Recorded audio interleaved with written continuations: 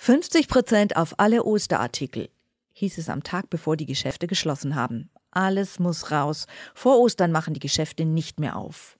Dieses Kaufhaus jedenfalls nicht. 25 Tage vor Ostern ist Ostern im Ausverkauf. Alles zum halben Preis.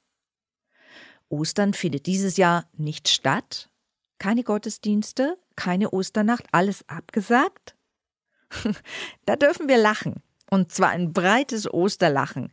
Das kommt uns nicht abhanden, denn die Auferstehung lässt sich nicht absagen. Die Botschaft, dass das Leben stärker ist als der Tod, die killt auch kein Coronavirus. Wir müssen nur noch ein bisschen das mit dem Lachen üben. Aber das wird schon. Viele Kirchen sind offen. Gehen Sie rein. Genießen Sie die Stille, hängen Sie Ihren eigenen Gedanken nach und wer mag, kann auf den Stufen des Altars eine Botschaft hinterlassen. Für alle anderen, die auch noch kommen. Und lesen, was Sie sich so gedacht haben.